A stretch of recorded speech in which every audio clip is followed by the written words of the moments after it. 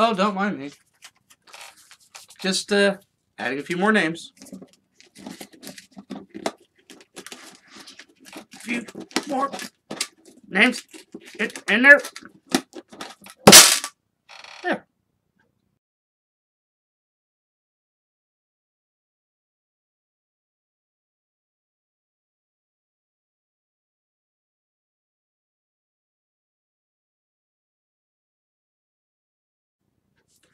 Hello again, and welcome to another episode of The Guido Goes Off.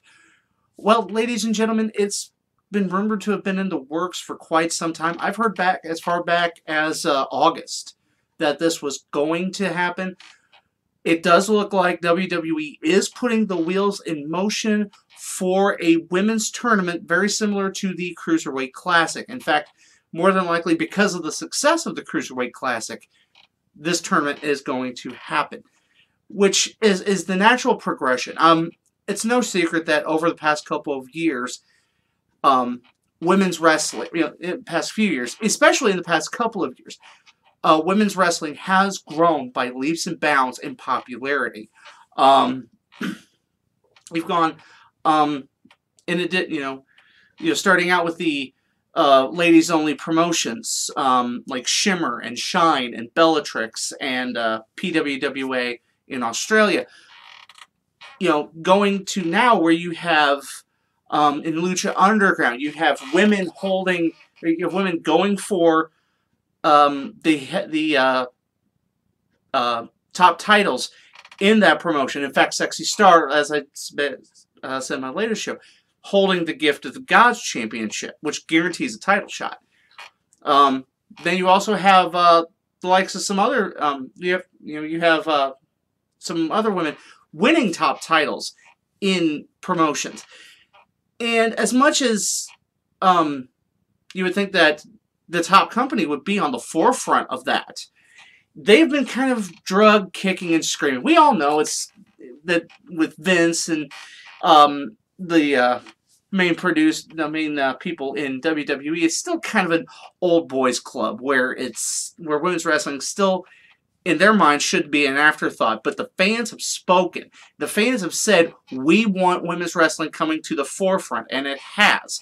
Um, from, you know, the, the, you know, WWE dropping the title of divas and the um, negative connotations that go with that, uh, to that awesome triple threat match at WrestleMania, uh, coming down to even um, last month with the the women not only headlining a pay per view, but being in the Hell in a Cell. I mean, it's you know, we right now we're in an era where women's sports is you know coming to the forefront. I mean, you have in UFC one of the top draws in UFC being the women. Um, and not to mention that here on election day here in the United States, we have the possibility of having the first women uh, woman uh, to become president of the United States. I don't know why it has to be that specific woman, but still, that could be historical. So, regardless of uh, regardless of the climate, it is proof positive. Women are coming to the forefront in professional wrestling, as well they should. Women's wrestling has, you know, become parallel to the men in every aspect, from storylines to from storylines to promos, and especially in ring work. Which is why this women's tournament, thank you. Um, you know, I, you know, I hope this this is going to come to the forefront. This is going to um, be huge and and also help not only uh, women's wrestling but WWE to you know lead that charge. Now, with that being said, um, it's clear they have to find 32 women. Now, probably not anyone on the main roster, probably not anyone on NXT. Um, if they're going to go by the, the, same way they did the Cruiserweight Classic, they're not going to get pe- they're not going to have people that are under contract. At least we hope that they wouldn't do that. Um, now I've uh, put together. Thank you, phone. Uh, now we've put I've put together a list. I'm going to silence my phone. And we're going to go on with this. Um,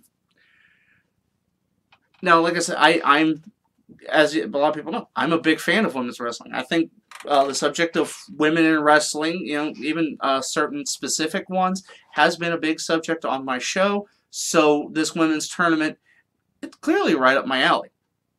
So, with that being said, there are some women out there in the independent circuit, where have you, that I would like to see in this tournament.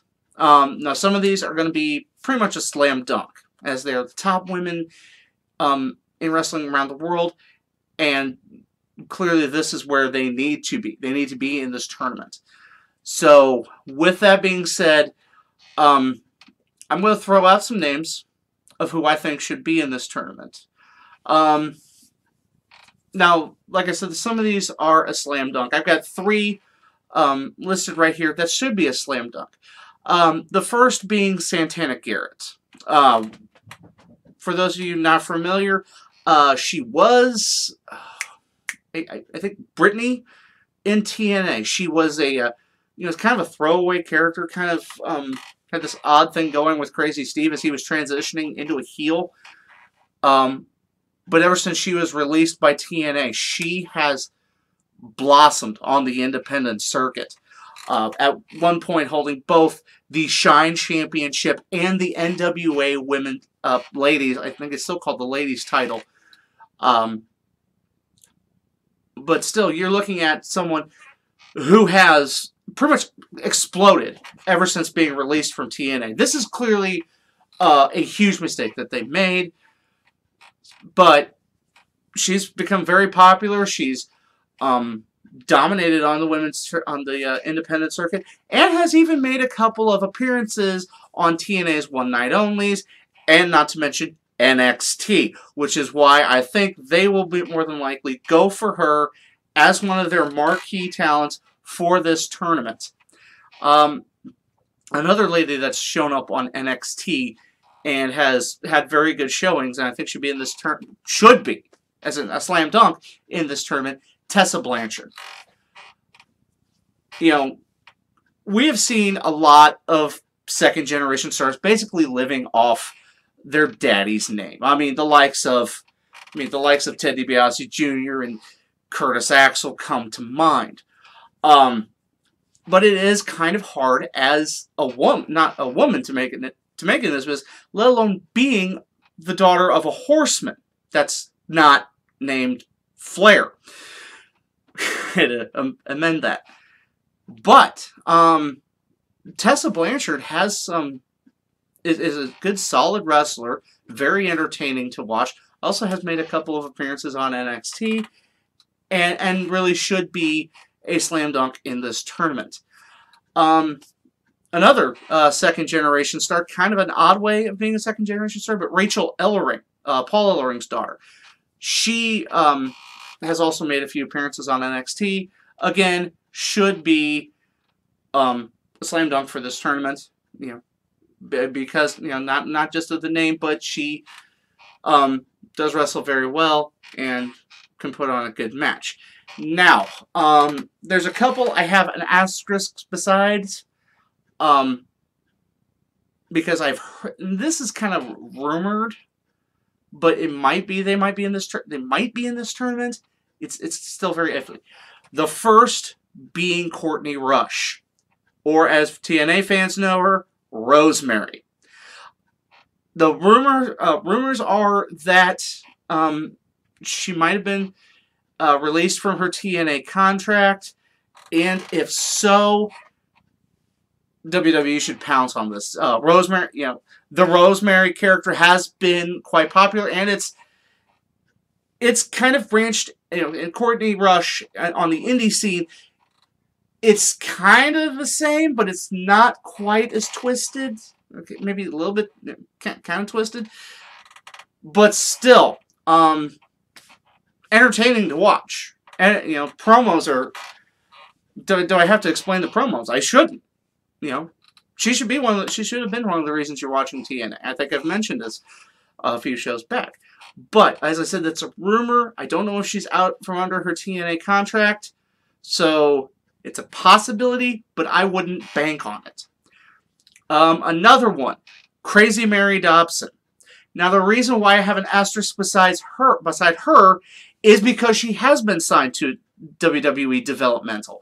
She's um, you know, and, and she has appeared several times on NXT as uh, I think Sarah Dobson. But um, I'm talking a lot. Sorry. But again, she's been uh, she's been showing up on NXT. She is signed to a developmental deal. Um, now, as and that's why I think as far as the Cruiserweight Classic is concerned, if you're signed to a developmental deal, it was doubtful you were in this to begin with. Um, kind of like the reason why Ciampa and Gargano were in that tournament. They had not been signed yet. I mean, they are signed now, but they hadn't been signed yet. Okay, so um, I have talked a while, so I'm going to probably a lot of these I'm not going to give as much time as I should, but okay. Uh, a lot of people, um, I got about nine other women I'd like to see in this tournament, so I'm going to go start going through them. Kimber Lee. Uh, for those of you who don't know her, uh, Kimber Lee has had a heck of a year. Um, she was believed, I know she was on in uh, in the top 20 of the female 50 because she was the first ever female Chikara Grand Champion, which is a men's title. She has grown by leaps and bounds ever since uh, the Kimber Bombs had to split up because, as we all, as a lot of you know, uh, Cherry, her partner Cherry Bomb is now Allie in TNA. So, um, Kimber Lee has gone has gone on her own, and like I said, Grand Champion, uh, Chikara Grand Champion should be in this tournament. Would be very nice for her to be in this tournament. Um, another one, one of my personal favorites, Evie. Um, the the uh, little New Zealander that kicks like a mule. Um, she um, she's also kind of she uh, did make an appearance in NXT. Unfortunately, she kind of got squashed by Nia Jax, but who hasn't? Um, you know, she's quite entertaining very physical style. Um, I think it lends itself great to a tournament like this. And so I'm ho- kind of hoping that she ends up in this tournament as well. Um, one, I, think this should be a slam dunk because when I heard um, from, I don't know if you guys watch the Way Too, Way Too Real podcast or hear anything about that. Um, shout out to those guys. Uh, this was the first name thrown out when I'd heard about this tournament going on, and I think we all know why she's a slam dunk to be in this tournament, Saraya Knight. You're talking one of the biggest names in wrestling in England.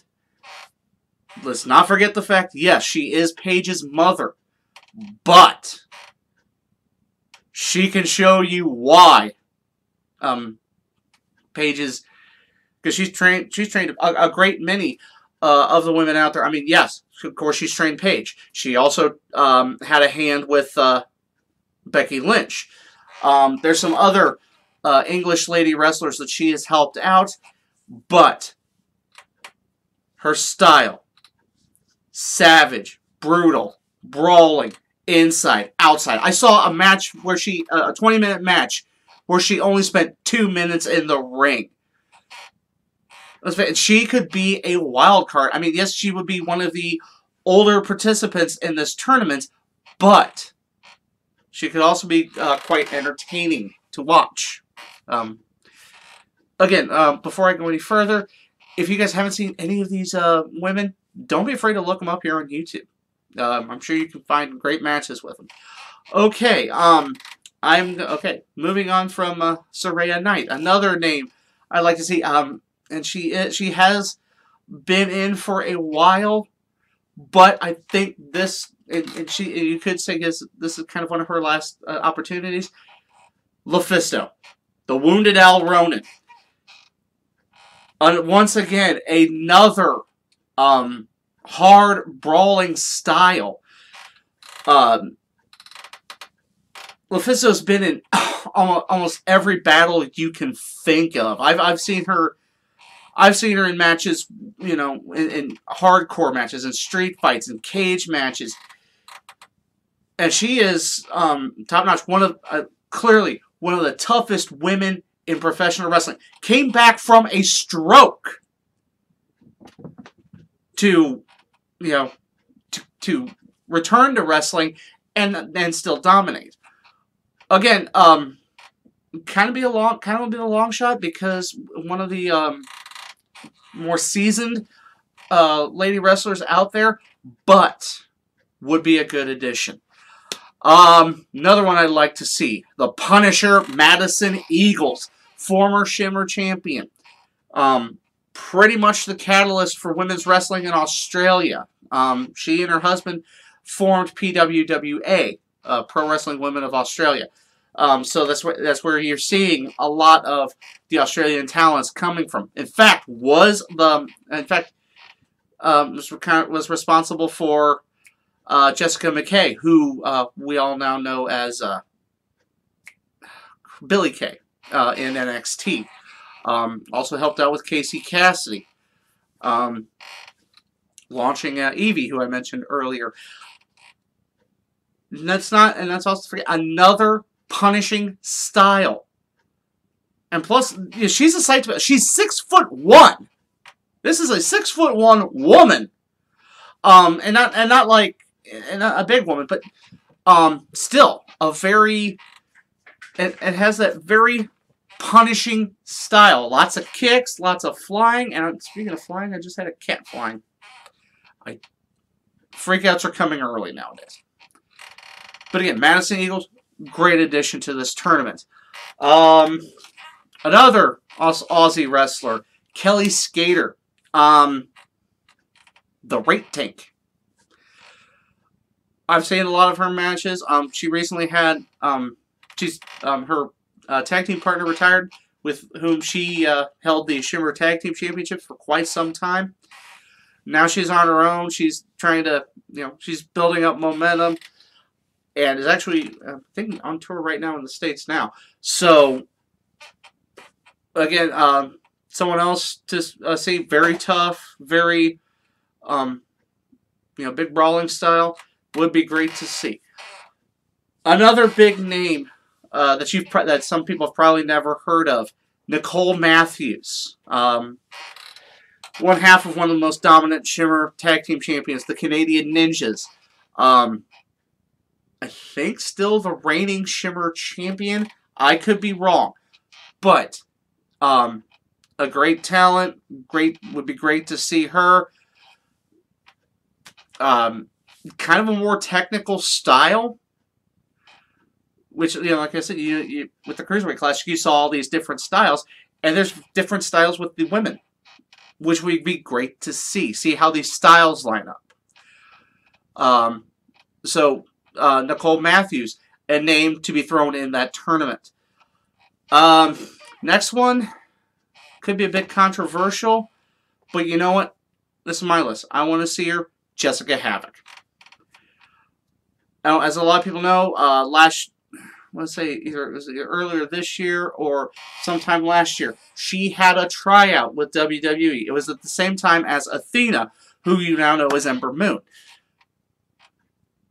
The thing was, it was at that point where some upstanding internet uh, community members decided to air out some dirty laundry um, in previous racist tweets which was unfortunate because Jessicka Havok is a hell of a talent.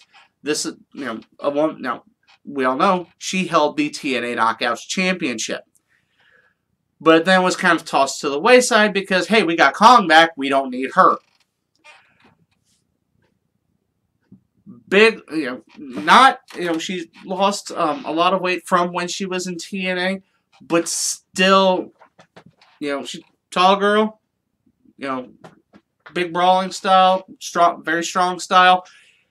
Would be great to see her. I mean, as I know, a lot of people might not not agree with me on this because of the past, but the past, you know, let's the past be the past. Let's watch us some God blasted wrestling. My final one, honestly, this one should be a slam dunk because of her previous relationship with WWE and NXT.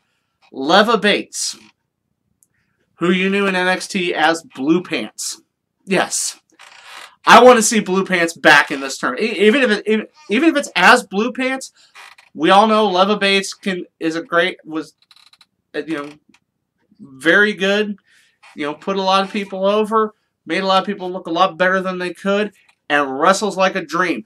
Honestly, if if even if it's just as Blue Pants, Leva Bates needs to be in this tournament. I mean, I think a lot of the, all these ladies need to be in this tournament. You get you get 32. You got room for 32 women. Why not put some of these ladies on this in there? It wouldn't be regret. You wouldn't regret it. But anyway, that is um, my list of the women who should, who I feel should be in this women's tournament.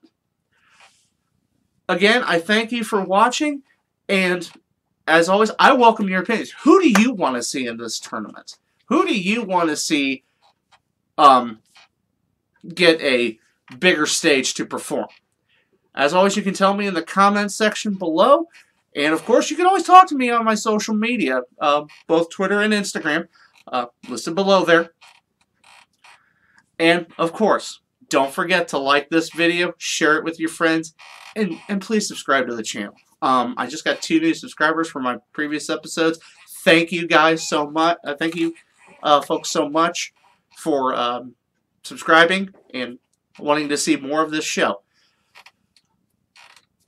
Well, until next time, I'm the Guido, and I think we're done here.